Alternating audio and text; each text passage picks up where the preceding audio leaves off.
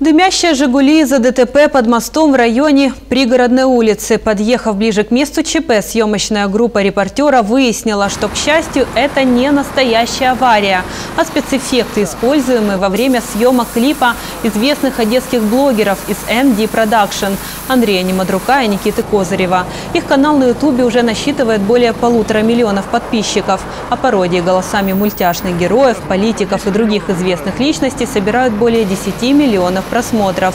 Сейчас блогеры снимают ремейк клипа известного российского рэпера Оксимирона. Это помидорчик. Я играю, получается, как меня зовут?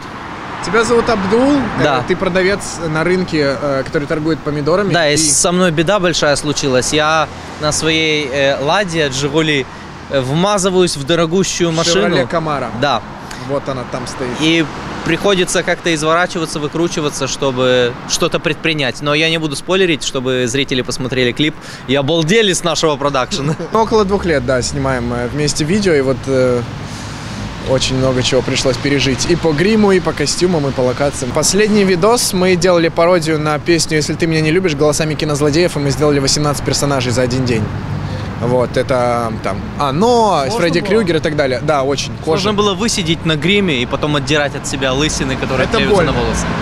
Если ты меня не любишь, то я тоже нет Если ты меня забудешь, то и я в ответ тобой не могу найти контроль.